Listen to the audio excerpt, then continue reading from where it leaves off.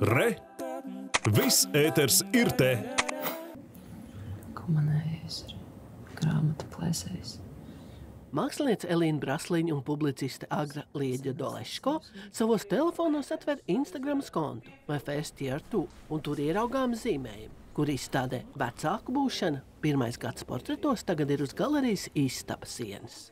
Es liku savu planšetu, uz kuras es zīmēju, es to liku zem galda, lai varētu būt tuvāk savai meitai, kas rāpoja pa grīdu. Un, un, un viss kaut kas ir mēģināts viņas turējis klēpī, lai varētu zīmēt. Un tie zīmējumi ir kādi ir tajā brīdī. Un būtībā tas mākslinieks aug kopā ar bērnu.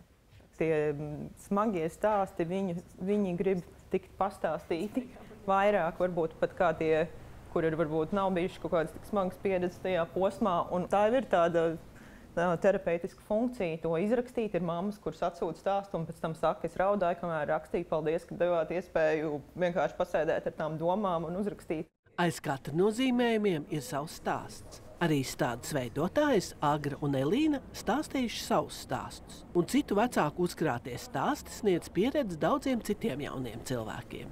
Zīmols, man liekas, to visu varbūt novienādo kaut kādā mērā, jo šīs fotogrāfijas blakus vienotrai varbūt cita, citā izstītos ļoti dažādas, bet tas tieši tas, ka tas viss ir zīmuļu tehnikā, tad tie visi stāsti kaut kādā varbūt vienā līmenī.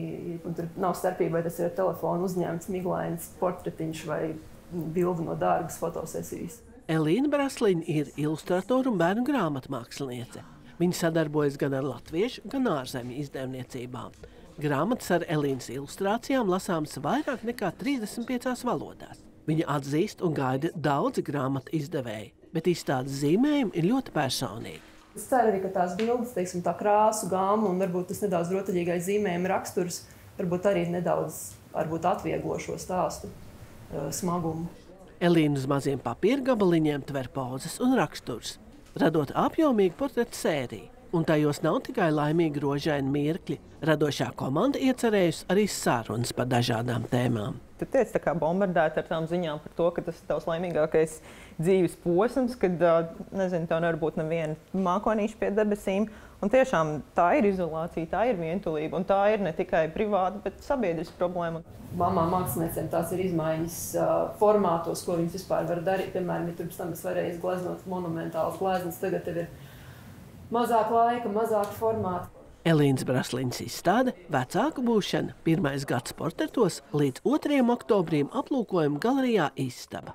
Ilza Strenga, Dzintars Spriņģis, Latvijas televīzija.